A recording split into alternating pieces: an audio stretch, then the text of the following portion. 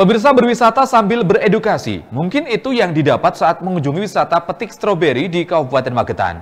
Pengunjung mendapat keasikan tersendiri karena bisa petik sendiri dibanding membeli yang sudah dibungkus.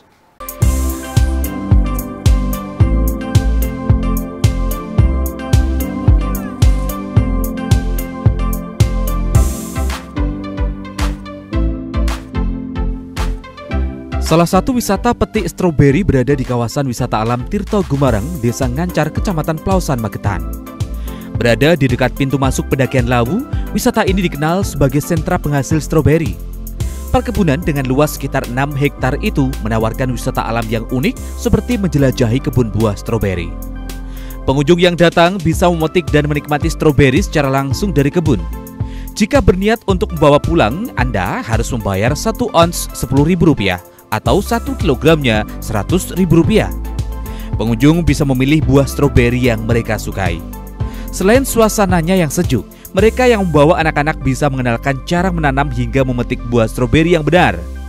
Kalau di kota kan kebanyakan kan permainannya ya kayak gitu. Kalau di sini kan dia benar-benar kembali ke alam gitu loh, benar-benar belajar tentang alam gitu.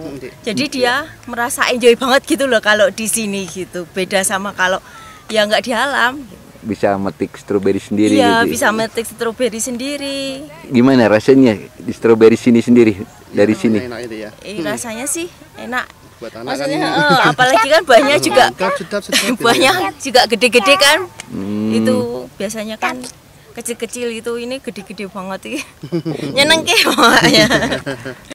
Wisata petik stroberi ini berada di kawasan wisata alam Tirto Gumarang. Selain menjelajahi kebun buah stroberi, pengunjung juga bisa menikmati wahana lainnya seperti camping, berkeliling dengan jeep, dan menginap di camper bus. M. Ramzi, CTV, Magetan.